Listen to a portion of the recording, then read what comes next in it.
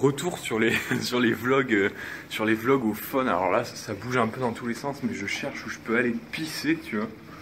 Parce qu'à chaque fois, en fait, je comprends pas pourquoi, mais le système des hôtels fait que entre, euh, entre midi et 14h, ils ferment les chiottes et les cuisines, tu vois.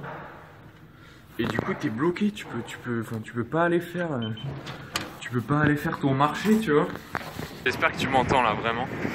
Je te fais cette vidéo de cette façon parce que... Euh, enfin là, avant de sortir, je regardais la vidéo. J'avais fait une vidéo quand je m'étais fait virer de mon, de mon job à Melbourne. De mon job à Melbourne, peut-être que tu te souviens. C'était juste avant... C'était juste avant... Euh, que je fasse mon road trip en moto et je regardais cette vidéo et je me disais putain mais euh, enfin à ce moment là c'est pas que j'étais un peu dans la merde mais je vivais des trucs intenses quand même parce que la vidéo, la, vidéo même, je te la mets dans la description. C'était un jour où je voulais tester des trucs sur la moto et le mec m'avait appelé, mon boss, pour me dire qu'il y avait un boulot, si je voulais le prendre. Et j'avais répondu oui sur le moment sans trop réfléchir. Et je suis allé faire le job alors qu'on était dimanche et je me suis viré le jour même. Et c'est ça qui m'a incité ensuite à, faire mon road trip en moto parce qu'il n'y avait plus rien qui m'attachait. Et je sais pas si ça t'arrive comme ça, mais euh, moi je fais des vidéos, du coup c'est le truc auquel je me réfère, mais peut-être que toi t'as des, des vieilles photos, tu sais on a tous des, vieilles photos sur nos phones de la bonne époque, tu sais ce qu'on appelle la bonne époque, où avec nos potes on se marrait bien et tout, et des fois t'as l'impression qu'il y a une époque où t'étais un peu plus, badass qu'une autre, tu vois, il y a une époque où, où franchement t'avais du courage et tout, et moi je regardais ça, et je me disais mais euh, ouais franchement là Là, j'envoyais du lourd, tu vois. En plus, physiquement, j'étais bien, j'avais déménagé. J'avais 500 maisons dans le dos, tu vois, que j'avais déménagé et tout. Et ça m'arrive des fois de me dire, ouais, t'étais pas mal à cette époque-là. Bon, tu vois, je sais pas si toi, t'es vraiment dans la moto, mais ça, c'est la moto que je voulais m'acheter. C'était typiquement la moto que je voulais avoir pour faire le road trip. C'est une Suzuki DR 650, c'est un monstre pour faire du road trip, c'est un, truc de malade, tu vois. Et, euh, et, ouais, je voulais absolument me l'acheter, mais elle était trop chère. Et alors ça, ça c'est une petite moto dont je t'ai plusieurs fois raconté euh, la légende. C'est une euh, Honda CT600, non CT110 pardon.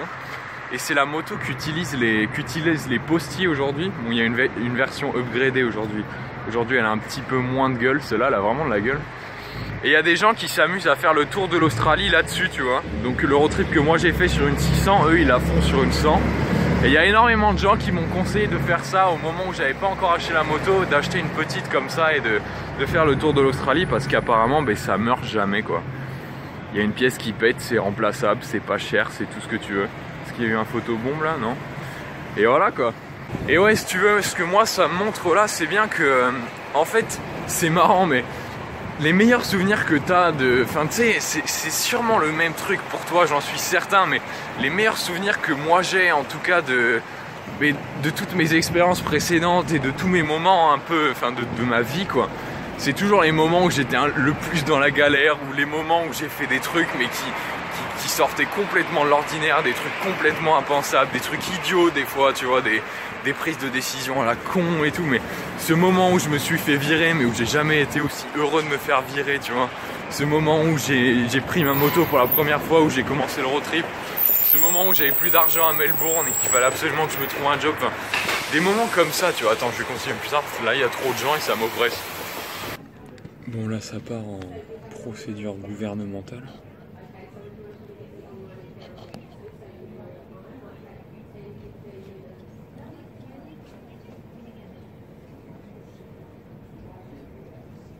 S'appelle le tax return. Récemment, il y a eu les deux premières conférences de presse pour le combat entre Conor McGregor et Floyd Mayweather, tu vois. Et moi, je crois profondément que Conor, il va gagner si tu connais pas, si tu connais pas en gros la situation. C'est Floyd Mayweather, c'est un mec qui a fait 40, euh, enfin, 49 matchs, 49 victoires. Il a une carrière de 20 ans, il a été champion du monde pendant 20 ans. Enfin, le mec, c'est une légende.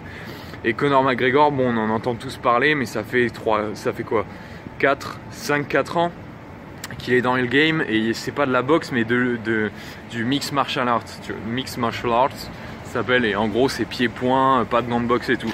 Et Connor a affronté Floyd donc euh, en termes de tu vois en termes d'expérience et en termes de, sport euh, c'est un truc quasiment impossible à faire parce que Connor il a jamais boxé enfin voilà c'est vraiment euh, un grand dans un domaine qui rentre, enfin qui met le pied dans un autre domaine encore plus grand, tu vois, et qui prétend pouvoir euh, buter le, champion du monde.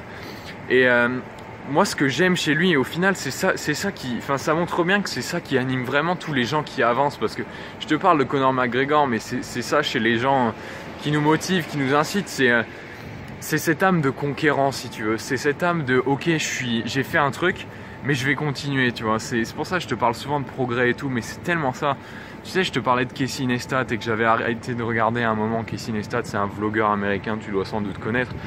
Et en fait, les gens, ils ont commencé à capter que ça devenait un peu chiant et un peu rébarbatif à partir du moment où, pour lui, dans ses vlogs, on sentait plus cette conquête. On sentait qu'il s'asseyait sur son, sur son trône, tu vois. Et c'est ça la différence entre Floyd et Connor, c'est que Floyd il, est assis sur son trône, tu vois, 20 ans de carrière, 21 ans de carrière en tant que champion.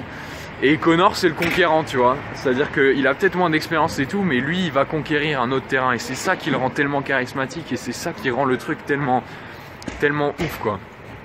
Et moi je te parle de ça parce que je m'en rendais compte euh, quand je regardais ma vidéo là. Euh, quand je faisais euh, du déménagement et quand je m'apprêtais à partir pour mon road trip, c'est que c'était tellement un moment d'incertitude. Je partais à l'aventure, je partais à la conquête d'un truc, tu vois.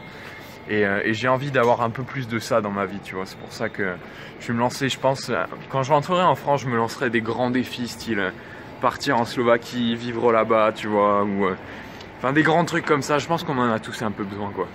Bon, allez, moi je vais te laisser. Je te, je vais te saouler à parler devant mon téléphone avec une qualité misérable, mais c'est ça que je voulais te dire aujourd'hui quoi. Allez moi je te laisse, je te dis à la prochaine, je vais faire un peu de boxe, un peu de running, je vais me remettre un peu en condition. Ciao